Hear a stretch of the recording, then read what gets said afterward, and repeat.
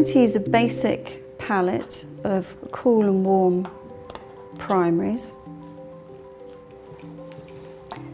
in each of the colours, an opaque and transparent version. From this palette I'm going to start with cadmium yellow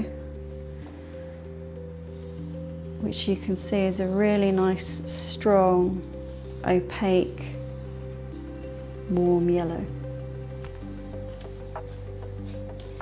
And pulling down on the transparent yellow you can see that it allows the black to show through which would make it really good for glazing. With the cadmium red, like the cadmium yellow, it's completely opaque.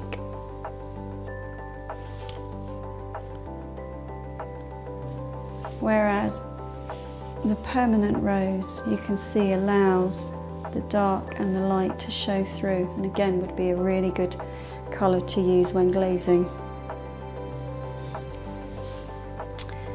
The cerulean blue like the cadmiums, has a really strong opacity, a really nice heavy solid colour but doesn't allow the light or the dark to shine through.